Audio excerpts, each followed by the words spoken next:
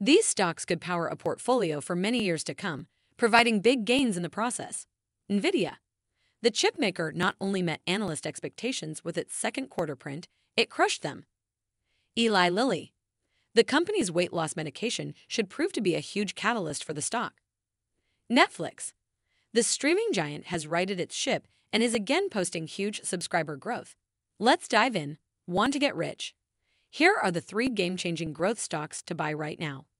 Welcome to Timely Investment Research. Growth stocks continue to drive both the stock market and investors' portfolios. Game changing growth stocks to buy that have multi year catalysts to drive their earnings and share price steadily higher are rare and hard to find. But when an investor is lucky enough to buy such a stock, it is advisable to hold on and ride it to great heights. Consider that a $1,000 investment made in Apple back in 2007 when the iPhone launched would be worth nearly $55,000 today. That is a return on capital of about 5,400%, and you can see the huge impact growth stocks can have for smart and patient investors. Consider also that this year's 30% gain in the NASDAQ index has been driven by fewer than 10 growth stocks. Want to get rich? Here are three growth stocks to buy right now. Number 1. NVIDIA. We'll start with the elephant in the room. That would be microchip and semiconductor designer NVIDIA. Going into the company's second quarter print, expectations could not have been higher. News headlines proclaimed that this year's stock market rally depended on NVIDIA beating Wall Street forecasts. Mission accomplished.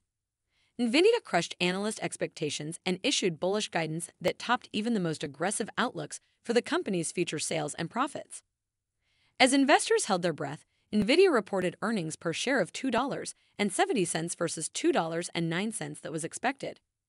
Revenue in second quarter amounted to $13.51 billion, double the $6.7 billion recorded a year earlier and ahead of the $11.22 billion anticipated on Wall Street. The company also reported that its margins increased to 71.2% during second quarter. Perhaps most impactful, NVIDIA raised its forward guidance for the third quarter, saying it expects revenue of $16 billion, which is higher than the $12.61 billion previous forecast. The higher guidance suggests that NVIDIA's sales in third quarter will grow 170% from a year earlier. Almost all of the growth and rosy outlook is due to skyrocketing demand for the company's artificial intelligence microchips. To say that NVIDIA is among the growth stocks to buy right now is an understatement. Year to date, NVIDIA stock has more than tripled, with more upside ahead. Number 2. Eli Lilly. Hot on the heels of NVIDIA is prescription drug maker Eli Lilly. The pharmaceutical company's stock is up 50% so far in 2023. Eli Lilly's stock hit an all time high after the company reported that its second quarter profit rose 85% from a year earlier, bolstered by surging sales of its diabetes drug Mounjaro, which is being reviewed by the U.S. Food and Drug Administration for use as a weight loss treatment. The positive second quarter print included revenue of $8.31 billion, up 28% from the same quarter of 2022.